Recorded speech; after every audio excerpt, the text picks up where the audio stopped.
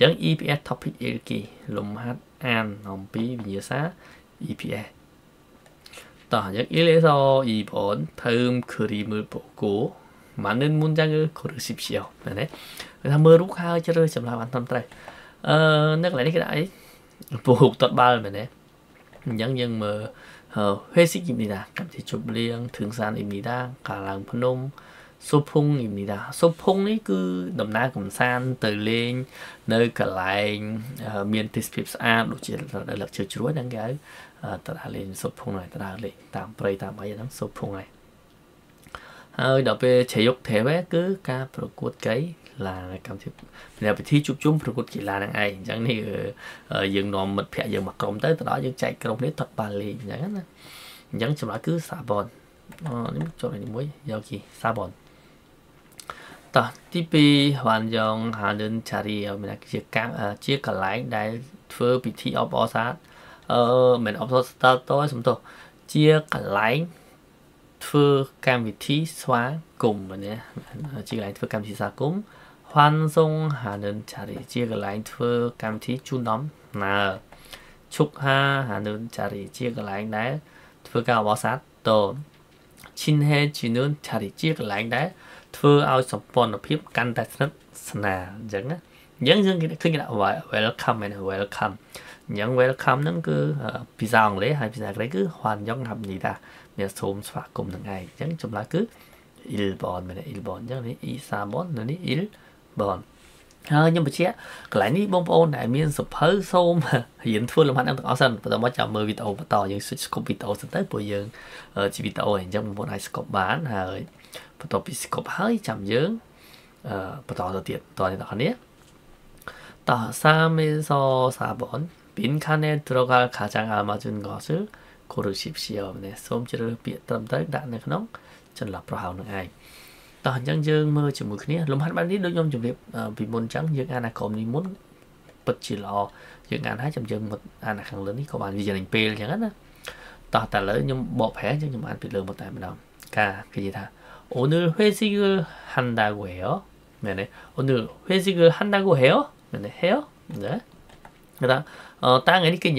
thưa cầm thì huế xích mét chẳng á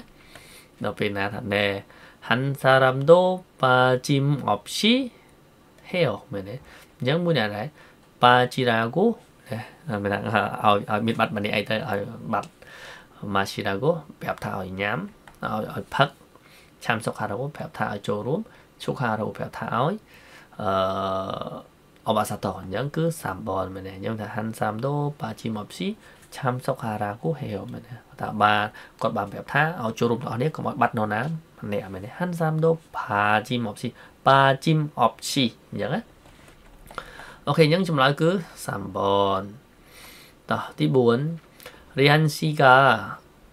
អ៊ីជេ 고향으로 들어간다고 해요. 뭐네. 리안 리안 씨는 បាននិយាយថានឹងត្រឡប់ទៅសុខកំណត់ហើយនៅពេលនៅពេលនេះមែនទេនៅពេលណាថា 그래요ពិតមែនឬ그럼 곧 파티를 해야겠네요. 네. 영 뭐냐래 생일 승진 환송 환정 네. 영 뭐냐래 환송 네. 부부 có tập tới tiệc tới sọc nát bây giờ dân mình thời cảm thì xóa cung có mình thời cảm thì sinh có mình xứng xứng chín này mình nhân sinh il xứng chín bộ môn trẻ hay mình đó nữa dân trong đó cứ 3번 또 하나 좀 거야의 그 5번 다음 질문에 답하십시오. 면에 솜 잘하는 승도 그럼 영지안 승도 뭐뭐 또 하나 뭐 예스로 글의 주제로 알맞은 것을 무엇입니까? 면에 그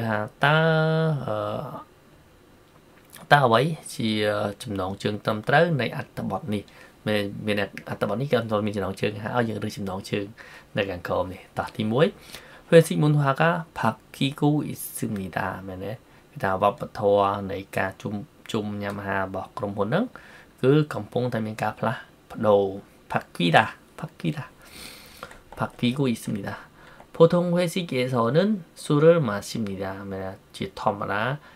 នៅក្នុងកម្មវិធីជប់លៀងរបស់ក្រុមហ៊ុនហ្នឹងគឺគេញ៉ាំស្រា 회식에서 공연을 보기도 합니다. មានថា នៅក្នុងកម្មវិធីជប់លៀងហ្នឹងគេក៏មានមើលការសំដែងផងដែរគេក៏មើលការសំដែងផងដែរអញ្ចឹងក៏បានដែរ 회식에 모든 직원이 참여해야 합니다. 기타 목록 등 뭐 어, 회, 회식에 모든 직원이 បុគ្គលិកទាំងអស់ត្រូវតែចូលរួមកម្មវិធីញ៉ាំអាហារជុំជុំគ្នានឹងបងប្អូននេះអញ្ចឹងមានថាបុគ្គលិក50នាក់ត្រូវតែចូលរួមទាំង50នាក់នឹងឯងតោះអញ្ចឹងយើងអានអត្ថបទនេះបើសិនយើងអានអត្ថបទយើងអានសំណួរចំណងជើងបែបនេះយើងអាចស្មានដែរមែនថា Ilbon បើបើសិនជាអត់អានអត្ថបទណាតោះឥឡូវអានជាមួយគ្នា 보통 회식이라고 하면 삼겹살을 먹고 술을 마시는 것을 생각하기가 쉽습니다. 쉽습니다. តោះយើងថាម៉េចជាធម្មតាប្រសិនបើគេនិយាយថាកម្មវិធី Basic មានជាធម្មតាបើសិនជាគេនិយាយថា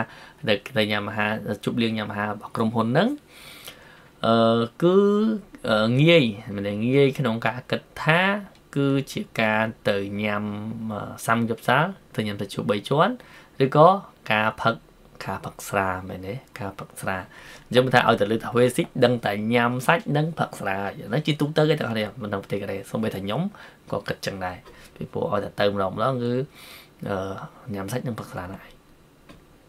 하지만 요즘은 술자리 대신 같이 공연을 관람하거나 운동을 하면서 단합 어, 단합을 두모하기도 합니다. គេថាក៏ប៉ុន្តែសពថ្ងៃនេះជំនួសឲ្យកន្លែងញ៉ាំស្រាហ្នឹងគេក៏មែនទេគេក៏គេក៏នេះគេក៏មានកម្មវិធីជួបជុំអឺអឺមានជួបជុំបុគ្គលិកក្រុមហ៊ុនហ្នឹងហើយធ្វើការទៅទស្សនាការសម្ដែងឬក៏លេងកី លេងកីឡាផងដែរមែនទេលេងកីឡាអញ្ចឹងពីមុនតាសាច់អាំងហើយនឹងផឹកស្រាប៉ុន្តែឥឡូវនេះគេជំនួសឲ្យការញ៉ាំសាច់អាំងឬក៏ការទៅញ៉ាំស្រាហ្នឹងគេក៏ជួបជុំគ្នាបុគ្គលិកក្រុមហ៊ុនអស់ហ្នឹងហើយទៅមើលការសម្ដែងឬក៏ទៅលេងកីឡាផងដែរស៊ូរីអំនឿនហ្វេសិកមុនហាកាមែនទេធម្មម៉ាលិនជីវណែឆាំយរឺជូដូហាគូអ៊ីស៊ូនីតាមែនទេ ថាចំពោះវប្បធម៌ជប់វប្បធម៌ជប់លៀងរបស់ក្រុមហ៊ុន ដែលគ្មានស្រានេះគឺកំពុងតែដឹកនាំកំពុងតែនាំឲ្យមាន ការចូលរួមរបស់បុគ្គលិកជាច្រើនថែមទៀតមានជាច្រើនថែមទៀតពីព្រោះចេះទាំងអស់គ្នាបងប្អូនខ្លះក៏អត់ញ៉ាំស្រាទេសូម្បីតែខ្ញុំអឺក៏អត់ចូលចិត្តដែរដោយសារអីទៅម្ដងៗគឺ ញ៉ាំតែស្រាហើយនឹងផឹកអញ្ចឹងវាវាអត់វាអត់សុបាយអញ្ចឹងណាប៉ុន្តែដល់ពេលគេដូរអញ្ចឹងយើងទៅវាសុបាយដូចជាទៅដើរលេងភ្នំទៅអញ្ចឹងអាហ្នឹងគឺសុបាយអញ្ចឹងមានអ្នកទៅចូលរួមច្រើនអញ្ចឹងគេនេះគឺជាការណែនាំរបស់គេអញ្ចឹងណាតោះអញ្ចឹងមានប៉ុណ្ណឹងហើយបងប្អូនគិតថាមួយណាអញ្ចឹងខ្ញុំគិតថា Ilbon មែន Ilbon ពីព្រោះគេនិយាយអំពីការផ្លាស់ប្ដូរនៃវប្បធម៌នៃវប្បធម៌អំពីការញ៉ាំអាហារជុំគ្នានឹងឯងយល់ទេបងប្អូន អូខេអញ្ចឹងមានប៉ុណ្ណឹងលំហាត់របស់យើងថ្ងៃហ្នឹងសង្ឃឹមថាបងប្អូនអាចយល់ទាំងអស់គ្នាហើយអាចធ្វើត្រូវលំហាត់អានខ្ញុំគិតថាអត់សូវបាក់សម្រាប់បងប្អូនទេពីព្រោះជាច្រើនបងប្អូនដែលធ្វើលំហាត់អានគាត់ថាងាយស្រួលជាងលំហាត់ស្ដាប់ស្ដាប់គាត់ថាលឿនពេកប៉ុន្តែបងប្អូនព្យាយាមស្ដាប់ម្ដងហើយម្ដងទៀតនោះការស្ដាប់ក៏មិនមែនជាបញ្ហាដែរតើតើគ្នា អញ្ចឹងសូមព្យាយាមហើយបើសិនជាមានចម្ងល់អីណាមួយសូមឆាតនៅក្នុងក្រុម Telegram របស់យើងអូខេអញ្ចឹងអរគុណសម្រាប់ការសិក្សាជាមួយគ្នាហើយយើងជួបគ្នានៅវីដេអូបន្តទៀត ហ្នឹងហើយចាំតិចអញ្ចឹងសូមនិយាយពីសភៅពាក្យនិងវេយ្យាករណ៍គ្រប់កម្រិតនេះជូនបងប្អូនសម្រាប់សភៅនេះកម្រាស់333ទំព័រមានមេរៀនពាក្យដែលយើងដកស្រង់ពីសភៅសារវិទ្យាប្រូក្រាម6ក៏អត់មកហើយក្នុងនោះផងដែរក៏មានវេយ្យាករណ៍គ្រប់កម្រិតពីកម្រិត1ដល់កម្រិត6ដែលយើងបកប្រែជាភាសាខ្មែរអមទៅដោយសន្ទនានៅក្នុងនោះផងដែរអញ្ចឹងសម្រាប់បងប្អូនដែលចង់បានសភៅនេះយកទៅសិក្សាសូមឆានកាន់ page ខាងខ្ញុំនឹងរៀបចំជូនផងដែរ